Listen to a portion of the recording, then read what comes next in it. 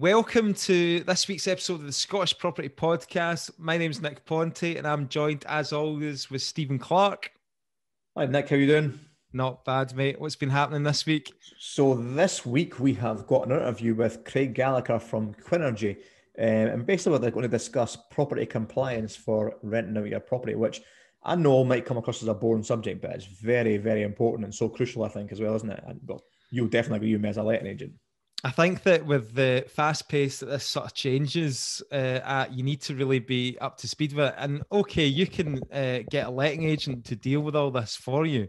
But ultimately, what, what I found really interesting when I actually became a letting agent, I actually learned that um, if something happens in the property and you've missed something, uh, then it actually falls back on you as the landlord, not the letting agent, if the shit hits the fan. So you know, it's so important to know all of this stuff. Yeah, and, and your responsibilities. Yeah, although you, you you can trust your letting agent to do it, and and as a professional, they should be doing that, obviously. But if mistakes happen, then ultimately it's you as the property owner and the landlord that, that bears the responsibility. So absolutely 100% crucial. Uh, Craig Gallagher from uh, Quinnergy, uh, obviously they do all the compliance and he brought us up to speed with absolutely everything that you need um, and obviously gave us time scales, how often you need to do them, and the cost as well, which I think will be interesting for people. Uh, so hope you enjoy it, guys, and hope you find it useful. And uh, we'll cut to the interview with Craig. So, Craig Gallagher from Quinnergy, thanks very much for joining us on the Scottish Property Podcast. How are you? I'm good. Thank you for having us on. Now, you've just, yeah, uh, good. Thanks very much. Uh, Steven Clark's here as well on the line. Steven. How you doing, Craig? Good to see you, mate. Thanks for joining us. Aye, thank you, Steven. So, Craig, you've just uh, read out your schedule for today. You're through in Edinburgh today, and I think you've got about 12 different appointments on. So, we're going to just rip through this as quick as possible. But we thought it would be really useful for the listeners because today we're going to be talking about landlord compliance. And it's something that is really crucial uh, when you get your rental properties up and running, you need to make sure that you're compliant as a landlord. So Craig specializes in this sort of thing. Craig at Quinnergy, um, he runs Quinnergy, and basically they're a company that carry out all the certification, all the landlord compliance. So, Craig, we're just going to start off. Um, let's just start off with the, the EICR. Then, what's what's EICR? Right, okay, so an EICR, it basically it stands for an electrical uh, condition, uh, installation condition report. So uh, quickly, it's it's basically an MOT for your car, but for your electrics for your house. So it's a kind of a report, um, 50% built up with visual inspections and 50% on testing. Um, and this just gives you a kind of overview of the electrics of your property. So it, will tell you um, when it was wired, what regulation it was wired to, if, if it's um, to correct standards.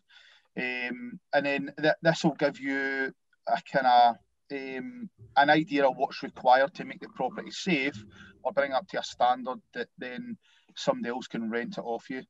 Um, so when, when you carry out an EICR, you're looking from the very start of the electrical installation. So when the, the main cable comes in from Scottish Power, you're looking at that setup the from then after that, you're making sure that the bonding, the earthing is all correct, the fuse box is correct, and then all the outgoing supplies from the fuse box. So make sure the sockets are good, the light switches, all that kind of thing. And and then what we pick up from that um, would be categorised as a C1, C2, C3, C4.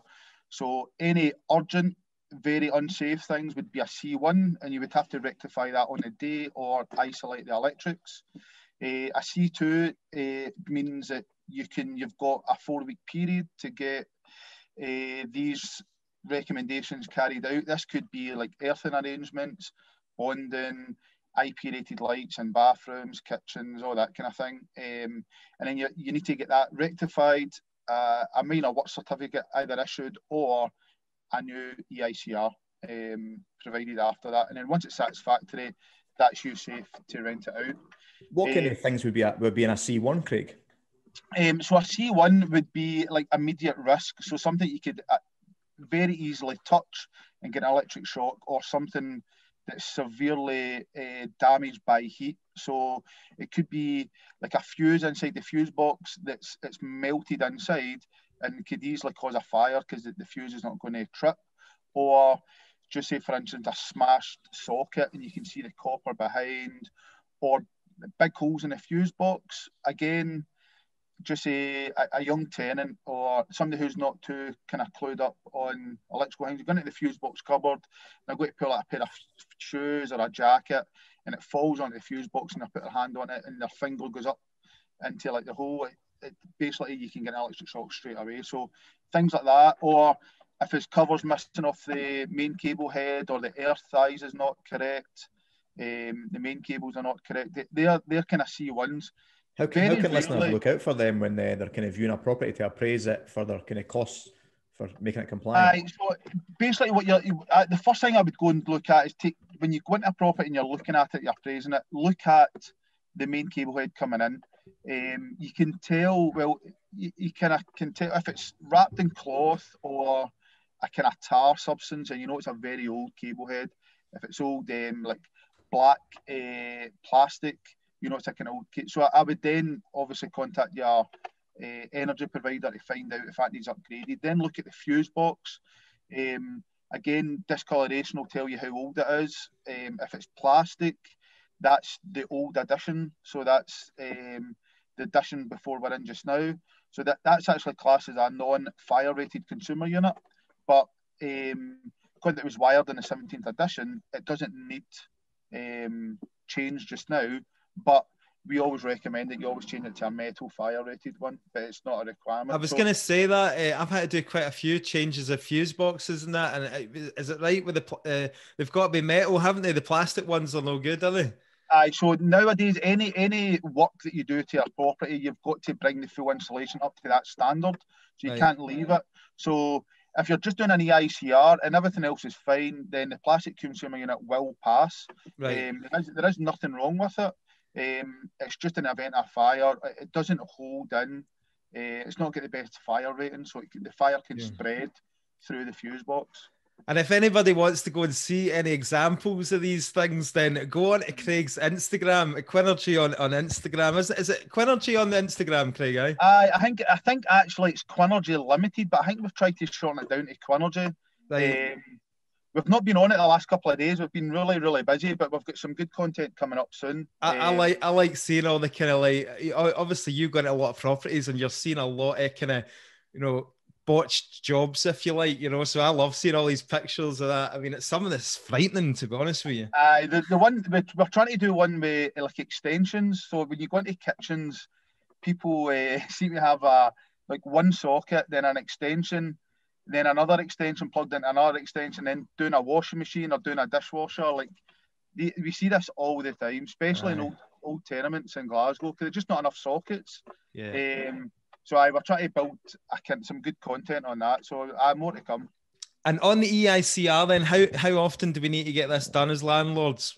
Right, so this is this is a subject that kind of everyone gets caught up on all the time. So um, an EICR is valid to up to five years. Um, the the real uh, the real duration is down to the engineer that's testing on the day. So if it's a very dated and kind of system that's deteriorating over time, and you can tell it's deteriorating by its test results, then the engineer might go right, it's passed, but we want to see it getting uh, revisited every year, every six months, every two years, every three years. So the, the, the quick question that is an EICR is valid for five years depending on the engineer's reporting. But also, yeah. just to touch on that, some local authorities, councils, housing associations have different views on this, and they stipulate that it might be done every two years or every three years or every change of tenancy. So you really want to check your local authorities um, first to find out what they're asking for. So I know South Lanarkshire are when you go for a new land registration, you need to provide a new EICR for every new tenancy if your mm. landlord registration is running out or they want to check up on you. Right. So our kind of our view on it is it's best to try and get not a full EICR done, but like a an electrical report done every change of tenancy. Okay. Everything right. Cool, cool. What one do you want to move on to next then? Gas safe? Aye, I think gas safety. I mean, this is the one that's been about for years. Most people kind of know about it and are more scared about this than anything else, um, and quite rightly so. But so in I fact, just before you, before you go any further, there's a lot of landlords out there that still believe that the gas safety is the only thing you really need. Do you know what I, I mean? Which is which is why it's so important to get you on today because it's an ever-changing, fast-paced moving uh, cog which keeps going round and, and more stuff keeps coming out and changes. So it's important to keep on top of it. As it, we, we've come across a few landlords that like they just ask us to do their gas safeties and then say have you got your electrical certificate? Have you, you got your legionella? And they're like i've never ever done anything like never heard never heard of that. What are you talking about? Oh, I know.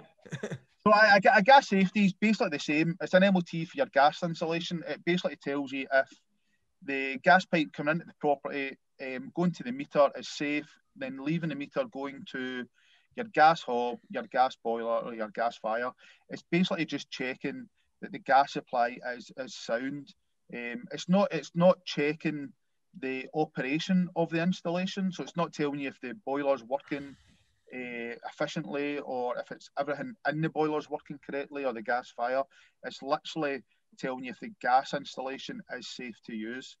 Um, and I, I, thought of people after a gas safety say, oh, the boiler's not worked after you've done a gas safety. But this is just, obviously we need to switch the boiler off, do checks and stuff like that, but we put it back on. Things can happen to the boiler after the gas safety, but it really, we're not looking at the operation of the boiler. Yeah. So a, a, a, gas safety is every year. Um, I don't know anywhere else that requires a gas safety more or more frequent than every year. I've not came across anything like that yet. So uh, it is every year, and by law, even through COVID just now, you can't let your dates lapse. So what I don't know why I've done this it doesn't really make much sense, but you can now go forward two months. So you mm-hmm. can do a gas safety in 10 months rather than a year. Don't know the advantages or benefits of that um, through what we're going through because you, you still need to, you would still get it done after every 12 months. So Craig, think, what's what's the cost of a gas safety? I probably should have asked that about the EICR as well, just to give the uh, listeners a, a basic kind of indication. So an EICR, like there is companies out there that do them uh, under like seventy five pounds, um, and they can go up to like two hundred and fifty depending on the size of the house or the property. A rule of thumb is between fifteen and twenty five pound per circuit. Right. So uh, if you've got 10 circuits, it should be £250. But I think if nowadays, uh, there's not many people that will charge that kind of money. And if they are, then they're only really doing one EICR and one property each day. Um, are we're slightly different because we are um, we can scale up for this. All our guys are running with iPads. There's usually two guys doing an EICR at a time and that's all they're doing all day. We can do a bit more than the, the average electrician that's just maybe doing one or two EICRs a week. Um, so the, I, I, would say the fair price just now for any EICR is around about uh, 85 to 150, um, give or take VAT on top of that. A gas safety, again, if you're getting a lot of volume, you can go down to like 40. Um, but I think the average man in a van's about sixty pounds, something like that, 60, 65 pound plus VAT. Yeah, um, I'm sure that I'm sure the listener will find that use, useful and to understand the costs involved in them as well. Especially yeah. when you're doing appraising of uh, what you need to spend on the property. I mean, I usually say to landlords, really, your first month's rent, you know, take on average a five hundred pound rent or something like that, six hundred pound rent. Usually, your first month's rent is taken up just with like you know compliance and things like that. Yeah. Do you know what I mean? I, I, do. I, have noted that that is probably perfect. Like the first month's rent's usually on compliance and like setup fees, yeah. getting the tenant signed in, all that kind of stuff. Um, but we're seeing now uh, a lot of a lot of landlords, a lot of investors now are doing the compliance at the start of the refurb, or maybe getting getting us in to do the compliance to then work out what's involved in a refurb. Yeah. Um, where the last couple of years it was always refurb first, and then oh, the tenant moving in, we need this compliance. We're going out.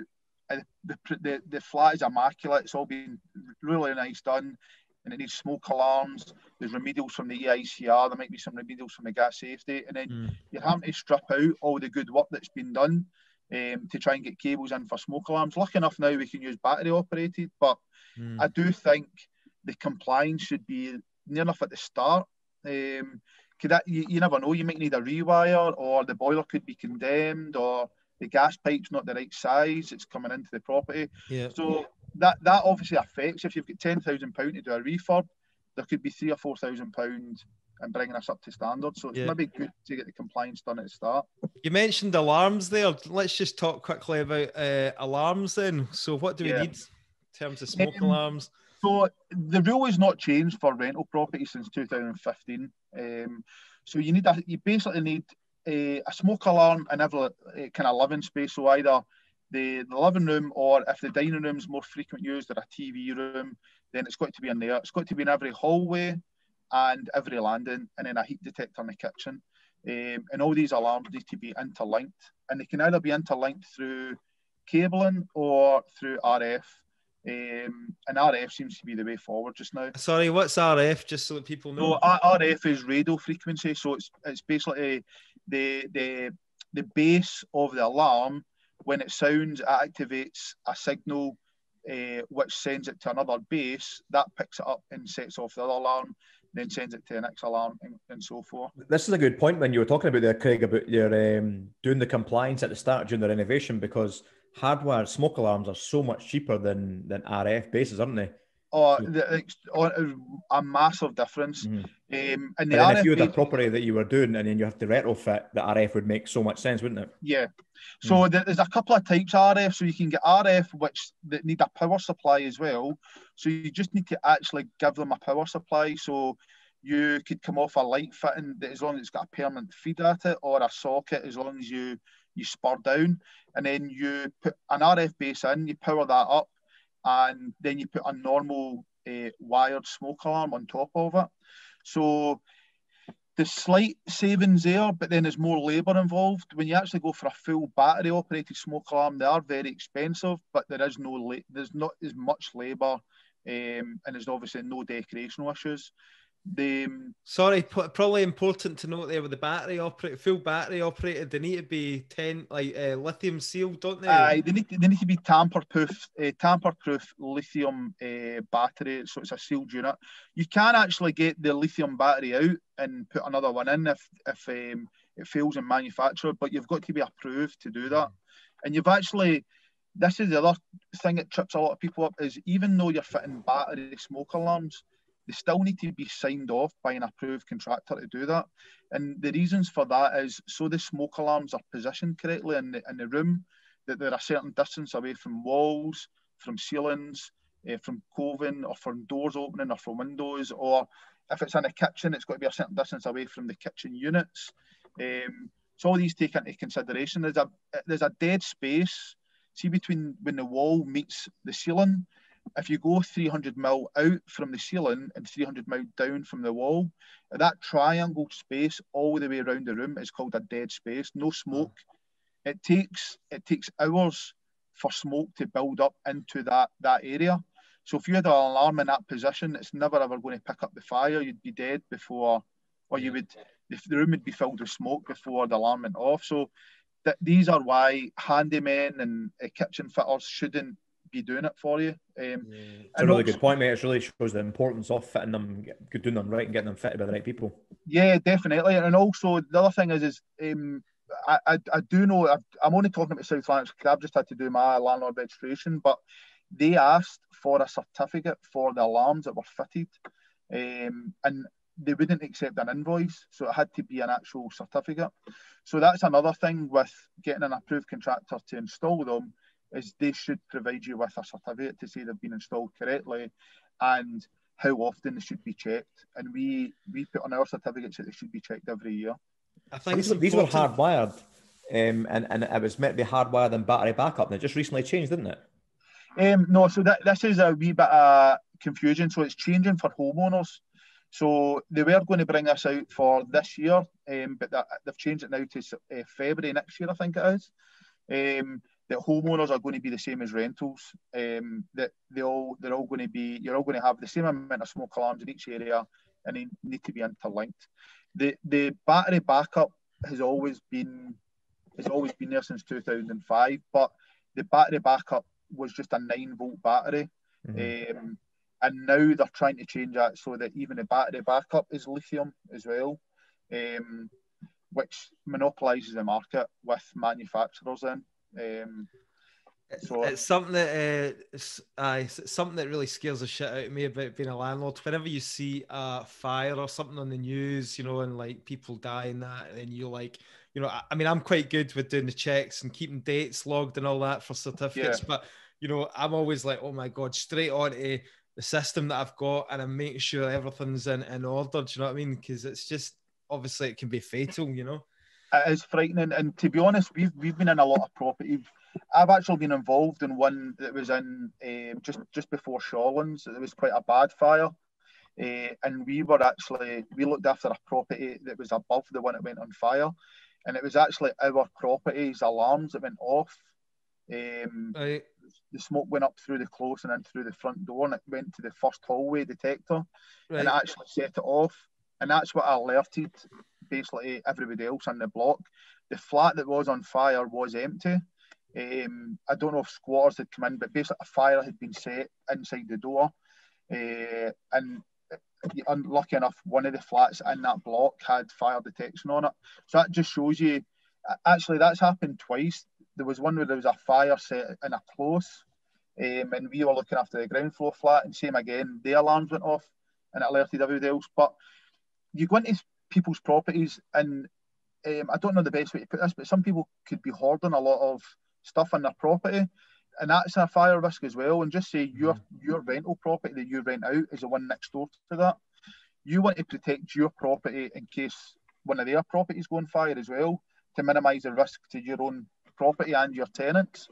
Um, yeah. So fire detection, I think, or smoke detection is is vital, and I think we know that from all the kind of disasters we're seeing yeah. just now.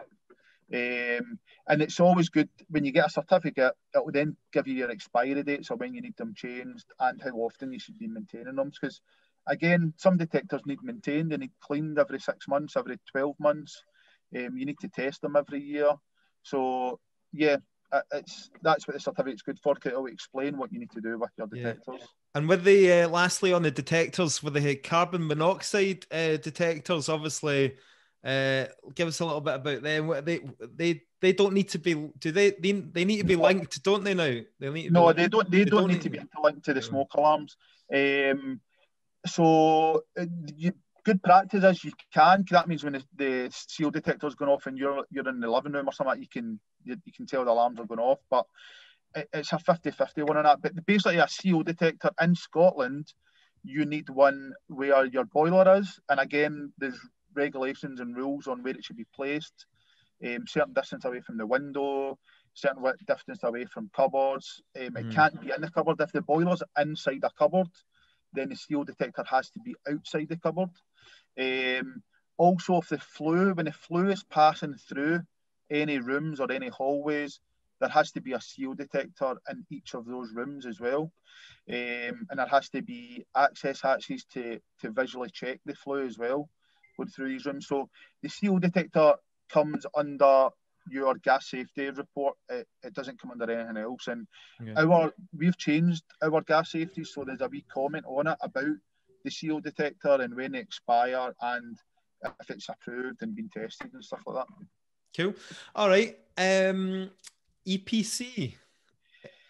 EPC, it's it's not really like a safety compliance, but um, this is more Okay. To, to uh, obviously EPC stands for uh, Energy Performance Certificate, so it's it's telling um, the general public the energy performance of your building or your property, i.e., it's taking into account the windows, the doors, insulation, the size of the property, how it's heated up, how the hot water's heated up.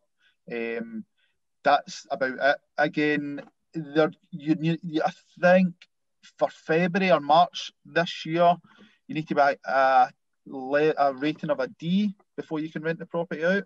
Yeah. And then by 2023 or 2024, uh, it needs to be at a C level um, for it to be rented out. So I think maybe safeguarding yourself now for those mm. changes could be the way forward. And simple changes or simple things you could be looking at is how is your hot water controlled? Is it digitally thermostated?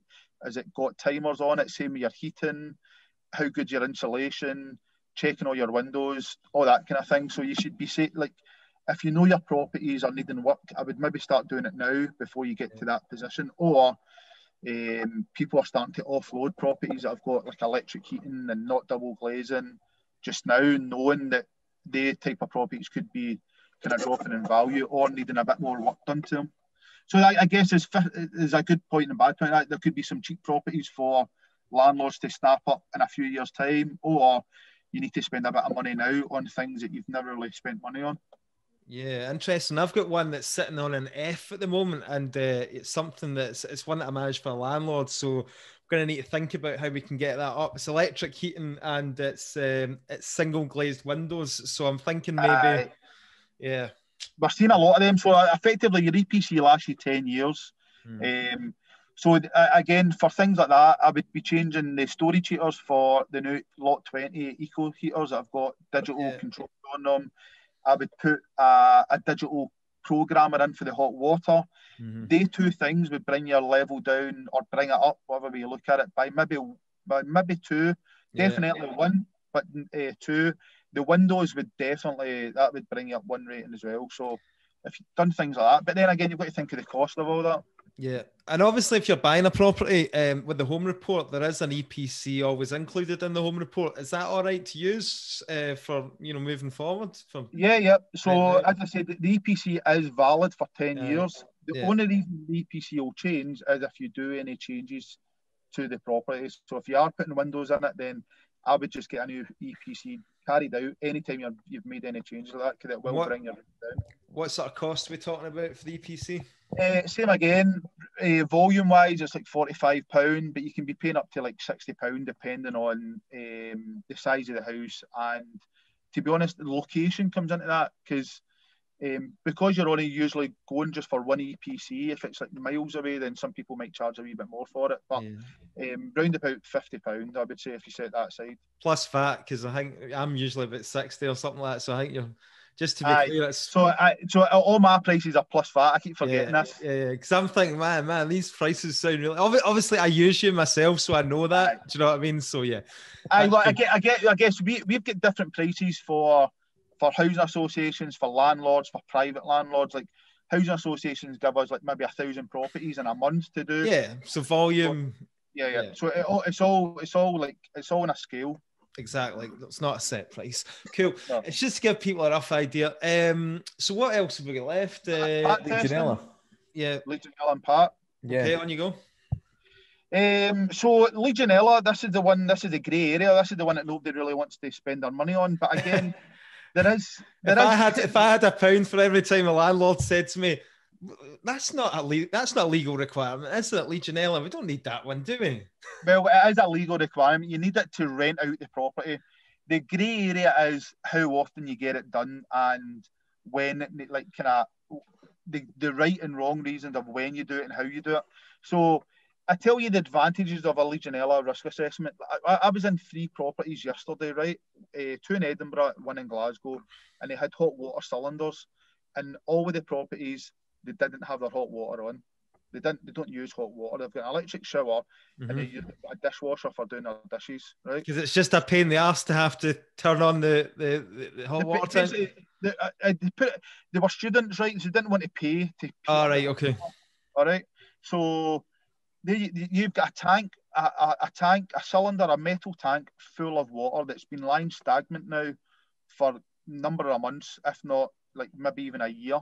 Um, and they've taped all the tap. Well, one of the properties is actually taped the hot water tap shut so that nobody would use it. So there's there's a really high risk of Legionella inside that tank, and nobody knows about it. You don't know about it. Your landlord doesn't know anything about it.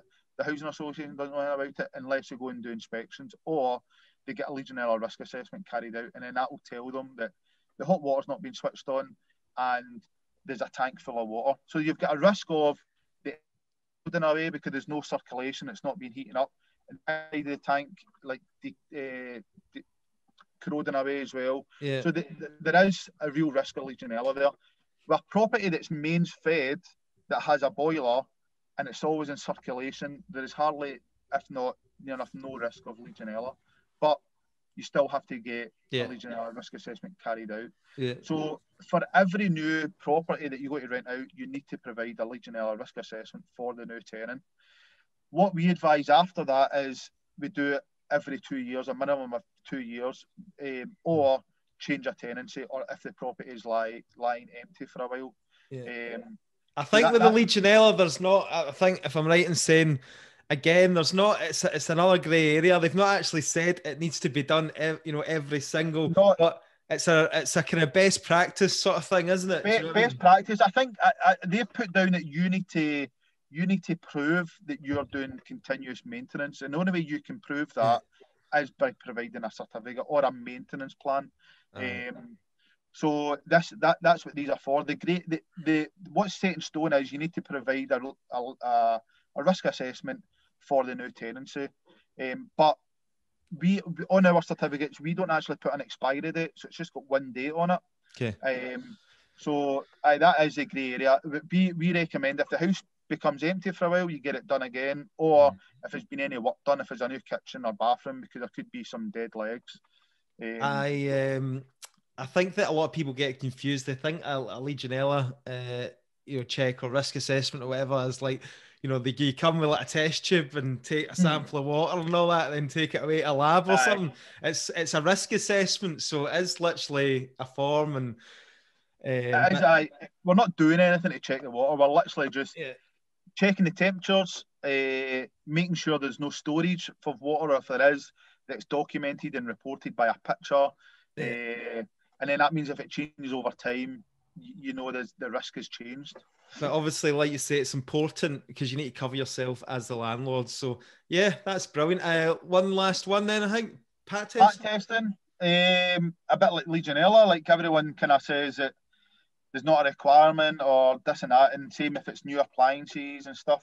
But basically, the way to look at it, if you provide any white goods or anything that can be plugged in to your tenant, you need to ensure that that's safe to use.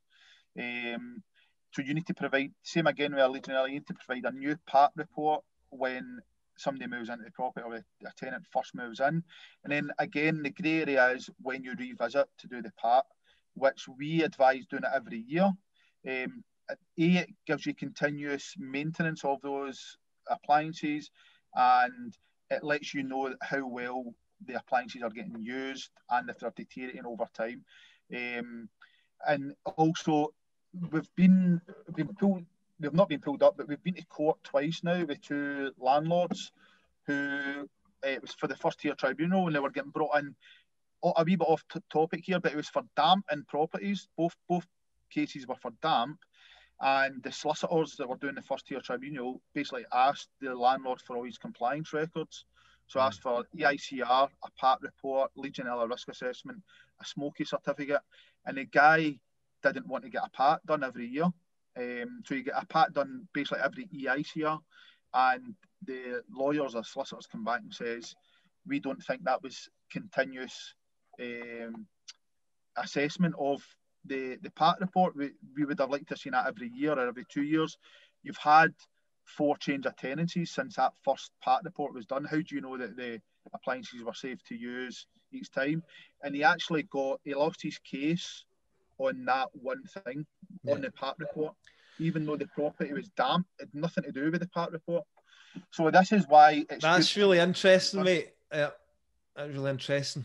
Uh, because what I, what I would say there is that basically they're demonstrating that they're not really a fit and proper landlord because they're not keeping on top of all these these things. So that that ruling is going to go go against them if there's anything like that. You know, it could be could be rent arrears, like you say, could be like that, damp issues. Well, that, that's how it, it started. It's basically started rent arrears, and then the tenant came back and says, "Well, I've got damp, Mhm. and I've had a light that's not working, and you've never came to fix it." Um, so that's then it just goes to a court of law, and it's just basically evidence against evidence. It's not really hearsay about hearsay, or I tried to get in, or I tried to phone you. It's basically what paperwork do you have to prove that you are doing maintenance on the property, and genuinely the guy was actually quite a good landlord. He was trying to get in, and Yeah. the tenant wasn't allowing contractors in. But that's a good thing about using um, I guess approved contractors is like we log everything. We take pictures of the doors or when we're going there. We keep a log of everything so that mm. if the landlord ever needs it, it's all there. If we've had any failed visits or anything like that, so that that's why it's good to keep a record of all that because if you ever do need it, then you've got that to prove that you did try your best to maintain the property. But he took the decision that he didn't want a, a PAT report done every year. He just wanted it done every every time an EICR was getting done.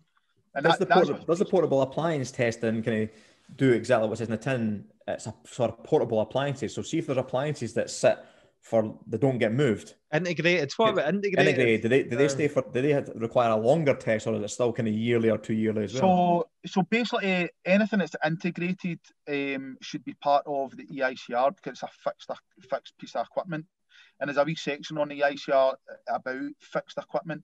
Um, so there's a check for that.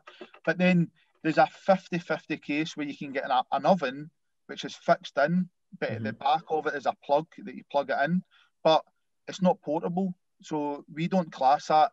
Uh, we mm-hmm. don't put that under a PAT report.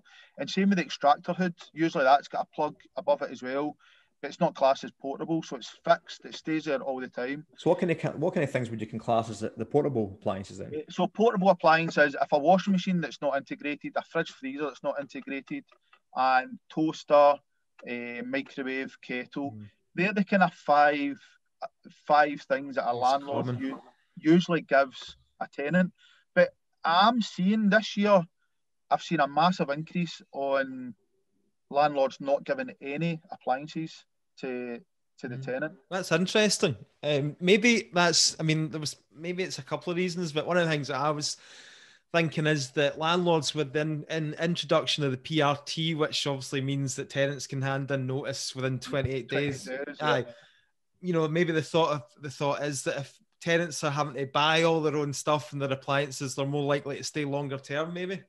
Yeah, I, I mean, uh, uh, this is obviously your forte. I, I, yeah. I, I, I think we're seeing a lot more empty houses, even more so from housing associations now that mm. they're not supplying a washing machine, a fridge, freezer.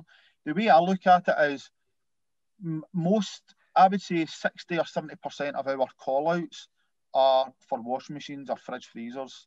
Like we get asked to look at them all the time. We don't do that. But what happens is when one of them goes on a blink, it trips the electrics. So right. so basically the landlord's getting a charge for an electrician to go out to reset the electrics to then say you've got a fault with the washing machine or mm. fridge freezer. Then you've got to send out an appliance engineer. Before you know it, you're two, three, four hundred pound. Where if you hadn't have provided that a piece of equipment, you wouldn't have had that issue or that call out. And you you probably be able to answer this more. Like I, I, I'll, maybe you get majority of your calls for issues is like the washing machine's not working or mm. stuff like that. So imagine you just take that out of the equation and it's sent up to the, the tenant to provide that. It's definitely a huge cost for landlords, things like that. Washing machines, one of the number one things. Boilers, obviously, that's a necessity. Yeah, you need to provide heating in that. But uh, one thing I would say on that is it is much harder to uh, to market and rent a property when it doesn't have when it doesn't have it, like a fridge freezer and is it classes property machine? types next a lot of times when i've rented out probably three bed houses i've never supplied them i've left them completely you know free yeah. white goods whereas the flats i'm doing in aberdeen are now a one bed flats you've kind of got a young yeah. professional a young tenant that won't have their own washing and fridge freezer so Aye. i'm feeling the pinch having to supply the appliances and like craig's saying is maintain them they're the, the, yeah. the most kind of common thing to go wrong Hundred percent. If it is for families, and you know, like you said, your three bedroom houses, then chances are, you know, the the the the the, the uh, house the, the tenant is probably going to want a say on what washing machine because of you know yourself guys if you've got if you've got two kids you know and the landlord supplies you with a five kilogram washing machine then you're going to be like this ain't going to this ain't going to cut it you know what i mean? So you need the eight the eight kilo and the the dryer and all that to keep on top of the washing if it's a family household yeah absolutely. No i know I, i've got one landlord right who basically kits a house out like top notch. He's got TVs in the bathroom. He provides TVs, like really nice TVs on the walls, nice table lamps, furniture really nice. And he's asking big, big rent, but they, they seem to be snapped up very, very quickly.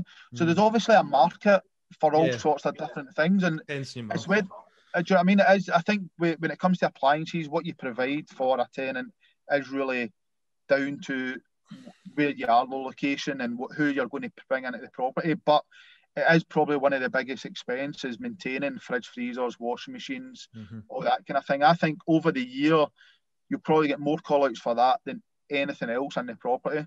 Yeah, hundred percent. Well, I think um, that's probably a good place to kind of to finish up. We kind of got off a, off topic a bit, but I like that because obviously uh, people are getting a bit insight there, and you've obviously you're obviously day to day you're experiencing with landlords as well what they're facing as well. So that's good. Um, so I think this probably we've probably got a case to try and get you back on every 12 months or something because it is a kind of fast changing environment, the whole compliance thing. So maybe we should make a kind of data reviewing this every year. But just, aye, just to kind of sum up, sum up, you know, like where can people uh, get you? Obviously, uh, you provide a solution for all the certifications. So if you just want to mention that. Yeah, so basically we are, we can come out, uh, so we'll send out a team and it would do all your compliance in one visit. This, this obviously saves time for the tenant, multiple visits. It saves time for like a Nick who are managing it, it saves time for the landlord, gets everything all done in one go, brings all your dates into the one, so you can, you can kind of keep on top of. Every year you know that month that you've got your certificates to get done. So yeah, we can come out, we can do your gas safety, your EICR, your Legionella, your PAT, your EPC, install your smokies. You can do it all in one visit. Um, and you can find us basically the usual places, our website, quinnergy.co.uk, or our social media. Um, we're on LinkedIn, Facebook, uh, Twitter, and Instagram. And we're, we always try to put some kind of funny stories or shock horror things on our social media so that it can show things up and we're trying to showcase some good stuff as well. Um, Steven's doing a couple of really good refurbs just now that we're um, we're hopefully going to try and get in and get some pictures of that and show how it's done properly and why you get the kind of compliance done first before you're doing your refurb, so you can kind of build it all into your your full investment. So, guys, I hope you enjoyed that interview with uh, Craig Gallagher from Quinnergy. We certainly did, and you know the important that you'll see that the importance of compliance is so important as a landlord, as an investor. Um, so thanks very much for listening, and we would like to read out a quick um, review. So we have a five-star review from Appy Chappy, great name. This is the first property podcast I found that features hosts that don't talk BS. This is an as real as it get as you can get with tremendous value as well. I'm planning on starting my own property investment journey in 2021 and I'm in the process of training myself online and reading books about property. This podcast alone has helped me a lot in my preparation to enter the property market. Their Facebook page is excellent and an excellent source of information with case studies posted regularly. My utmost, utmost respect for keeping it real, and I hope Nick and Steven continue to their high quality content for a long time. So thank you very much, Appy Chappy, for that five star review. Awesome, mate. We definitely do a lot more appy chappies in our lives. So thank you very much for that. I also want to give a shout out to our listeners. If you are on Instagram, then follow myself and Steven Clark on Instagram. It's Nick underscore Ponty and Steven Clark Property. Is that right? That's right, Nick. Yep. Good stuff. And if you're listening to the podcast, what to do is take a screenshot of it on your phone and mention us, and we will uh, copy that into our stories. And obviously, hopefully you'll gain a few more followers from that as well. So we're happy to do that. Right, guys. Thank you very much. Until next time. Thanks, guys. Speak to you next time. Bye for now.